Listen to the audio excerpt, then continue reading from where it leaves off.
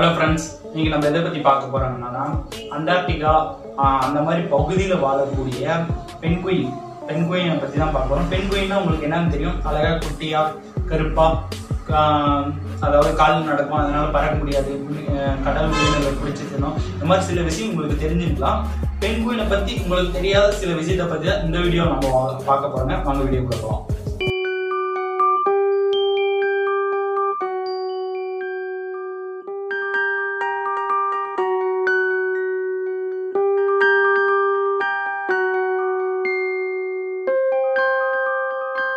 Hello friends பெண்குயில் பெண்குனை பற்றி தெரியாத விஷயத்தை இந்த வீடியோவில் நம்ம பார்க்கலாம்.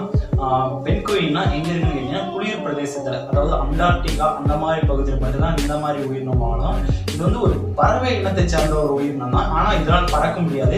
இது தன் காலை பயன்படுத்தி நடக்க முடியும் நீச்சல் அடிக்கும். அது அது மட்டும்தான் செய்ய முடியும். இதால் பறக்க முடியாது. இது வந்து இது வந்து மிகவும் குளிரான பகுதிகளிலும் வாழக்கூடியது. அண்டார்டிகா பகுதியில் உங்களுக்கு தெரியும் ஏகப்பட்ட குளிர் இருக்கும் அந்த பகுதியில இந்த உயிரினம் வந்து வாழும்.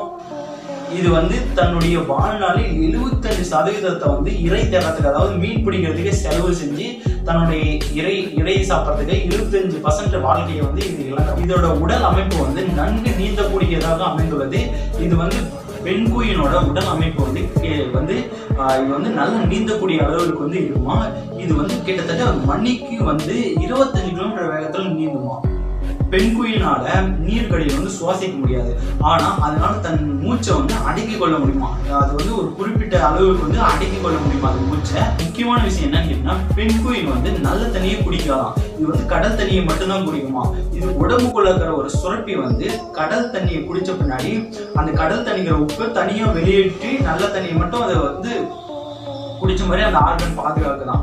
இது உடம்பு பெண்குயின் உடம்பு முழுசா உள்ள தண்ணி போகாத அளவுக்கு இதோட இறகுகள் வந்து இதை பாதுகாக்குது. அதாவது ஒரு வாட்டர் ப்ரூஃப் மாதிரி இந்த இறகுகள் வந்து பாதுகாக்கலாம் அதே இறகுகள் தான் இதோட குளிர் பிரதேசத்துல குளிர தாங்கக்கூடிய அளவுக்கு அந்த இறகுகள் வந்து கிட்டத்தட்ட ரெண்டு கிலோ ரெண்டு கிலோ வெயிட் அந்த இறகுகள் மட்டுமே ரெண்டு கிலோ வெயிட் இருக்குமா? அந்த இறகுகள் தான் இதோட உயிரை பாதுகாக்குது அப்படின்னு சொல்றாங்க. அது மட்டும் இல்லாம இதோட தினசரி வந்து இதோட இறகுகள் வந்து 150 கிராம் வந்து தானாவே விழுந்துருமா அந்த உளுந்த இறகுகள் வந்து பன்னெண்டு நாளைக்கு ஒரு முறை அந்த இறகுகள் மறுபடியும் முளைச்சிட்டே இருக்கும். பெண்குயினால சர்வ சாதாரணமாக இருநூறு மீட்டர் ஆழத்திலையும் நீந்த முடியுமா கடலுக்கு அடியில் இருநூறு மீட்டர் ஆழத்தையும் பெண்குயினால நீந்த முடியுமா? ஐஸ் பாறையில பார்த்தா வந்து பெண்குயின் வந்து நடக்கலாம் தன்னுடைய வகுத்து பகுதியை பயன்படுத்தி அதுல சறுக்கிட்டு போகுமா? ஸ்கேட்டிங் பண்ணுவோம்ல அந்த மாதிரி சறுக்கிட்டு தான் போகும். பெண்குயின் வந்து நிலத்துல இருக்கிற எதுவுமே சாப்பிடாதான் இது கடல் கடல்ல இருக்கிற உயிரினங்களை மட்டும்தான் மட்டும்தான் சாப்பிடும். சில நேரங்களில் பெண்குயின் இறை தேடி கடலுக்கு போச்சுன்னா பல நாட்கள் கரையை திரும்பாதான் அதோடைய அது நீச்சல் அடிச்சுட்டே இருக்குன்னு சொல்றாங்க. பெண்குயின் வந்து பொதுவாகவே ரெண்டு முட்டை மட்டும்தான் இடுமா. தன்னோட முட்டையை வந்து அதுக்கு எப்பவுமே பாதுகாக்குமா? தன் முட்டையை வேற ஏதாவது கூட்டுக்கு மாறிச்சாலும் தன் முட்டையை மட்டும் அதை கரெக்டா கண்டுபிடிச்சு எடுத்துருமா. ஒரு மனிதன் சராசரியா ஓடக்கூடிய அளவிற்கு இந்த பெண்குயினால ஓட முடியும் அப்படின்னு சொல்றாங்க. பெண்குயினோட கண் பார்வை வந்து மேல தரைப்பகுதியில தெரியறத விட நீருக்கடியில வந்து தெளிவா தெரியுமா? அதனாலதான் அது வந்து இறையை பிடிக்கிறதுக்கும் நீருக்கடியில் இறையை பிடிக்கிறதுக்கும் மற்ற நீருக்கடியில வேட்டையாடக்கூடிய உயிரினங்கள் இருந்து பாதுகாக்கிறதுக்கும் அந்த கண் இவங்களுக்கு பாதுகாப்பா இருக்கும். ஓகே நண்பா. பாய் இந்த வீடியோ முடிஞ்சிருச்சு. அடுத்த வீடியோவில் பார்க்கலாம். அது வரையும் பாய் பாய்